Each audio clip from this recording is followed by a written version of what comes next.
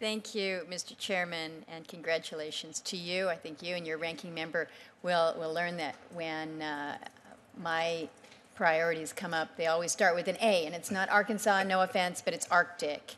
And my friend from Hawaii, I think, has, uh, has, has learned that this uh, big Pacific Ocean has warm spots and, and colder spots, but uh, from the defense perspective, it is uh, clearly an area uh, of interest. So I want to, to start my questions uh, directed to you, Secretary Niemeyer, and this relates to our Arctic strategy.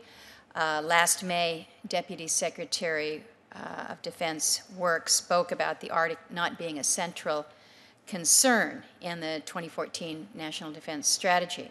We now have the newly published 2018 National Defense Strategy Summary, it also does not specifically highlight the Arctic region nor address the Arctic infrastructure.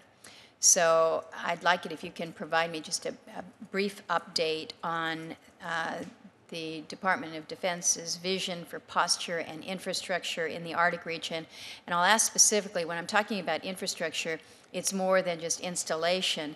Uh, uh, I think it was just a couple days ago, I read an article about Russia's uh, plans to lay trans-Arctic uh, fiber cable that will link the military installations starting in western Russia, bordering Norway, across the Arctic to the Pacific.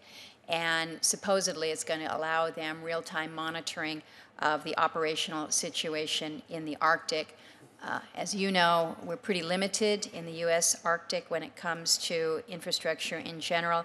We're making some good developments with, uh, with fiber, but should we be prioritizing uh, linking our installations with high-speed fiber? So we don't have too much time to talk about it, but if you can give me your views, that would be appreciated. Yes, ma'am. I'll keep it uh, short and sweet. Um, the the questions about an Arctic policy um, that's a little bit beyond my capability. Represent the DoD position. I'm the installations and energy guy.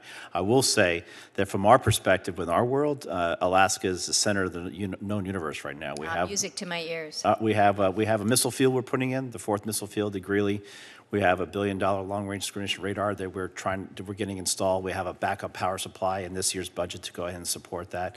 Eielson's getting two F-35 squadrons. I'm actually going up to Alaska in June specifically because I want to make sure that these projects are on track. Uh, they're absolutely critical to our nation's defense. Um, so I, I, can't really test to the fact that I, I do know that the National Defense Strategy says that our homeland is no longer sanctuary. Alaska is part of our homeland. Um, I do know that it's very high in, in, my part, at least, to making sure that we are delivering capabilities within the state of Alaska.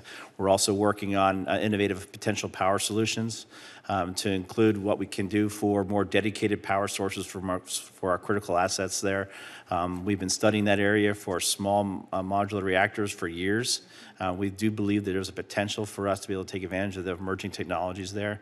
So um, Alaska is always in our thoughts as far as uh, what we're working day to day within my portfolio.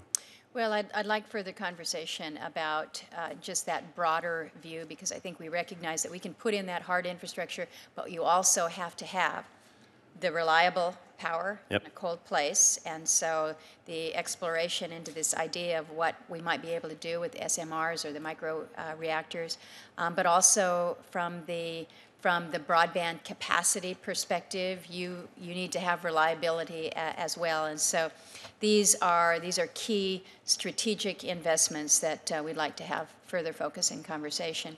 General Green, uh, thank you for for noting what we were able to do in the CR, making sure that the um, the approaching uh, arrival of the F-35s that that is going to be staying on, on, on time, on track. We are we are very keen in our focus on, as you say, Secretary Niemeyer, making sure that that moves forward uh, with, with, without, um, without complications.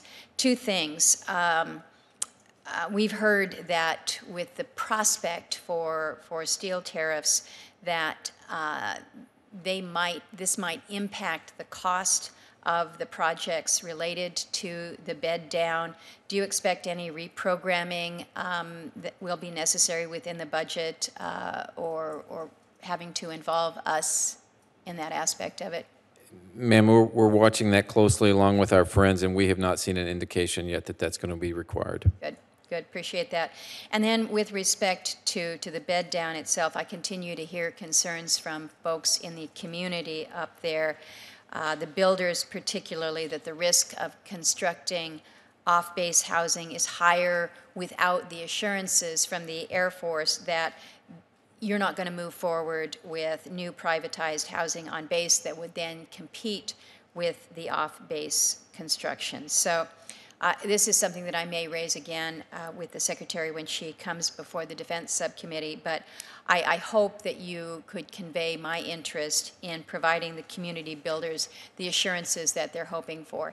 It seems that uh, the discussions are are a little bit better. Right now, I'm going to be up there um, next Friday for our annual salute to the military. That again gives me an opportunity to be intersecting with not only the folks on the civilian side, but our military uh, in these discussions. So I'm, I'm hopeful that uh, we're going to be in a good place. But any assurances that you can give the community um, about the Air Force intent on the housing side, I think is greatly appreciated.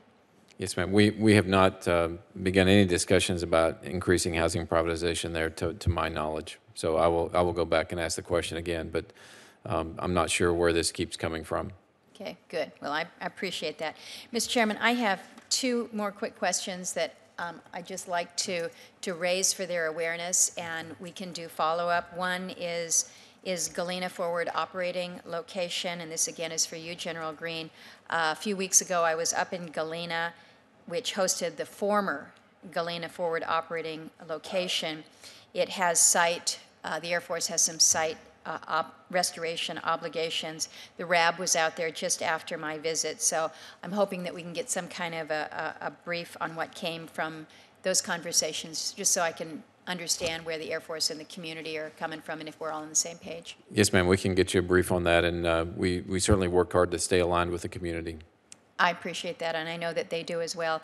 And then final question, um, General Bingham, this is, uh, this is related to the Fort Greely School. You may be familiar with it, but this is something that is an issue that just seems to defy resolution.